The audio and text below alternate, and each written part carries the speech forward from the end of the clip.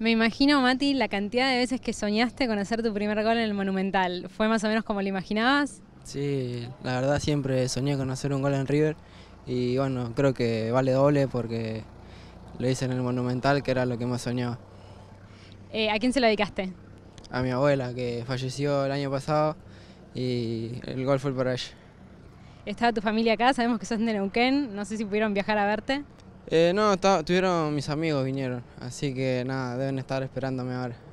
Bueno, en líneas generales, ¿cómo viste el partido? ¿Cómo te sentiste?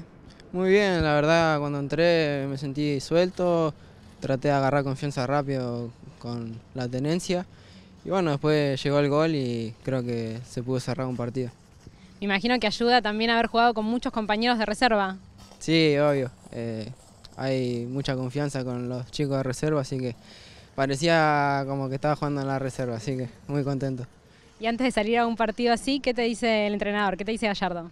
Me dijo que, trate de tener la pelota, que juegue uno o dos toques y que, haga tenencia para generar espacio, así que creo que hicimos muy, muy buen segundo tiempo.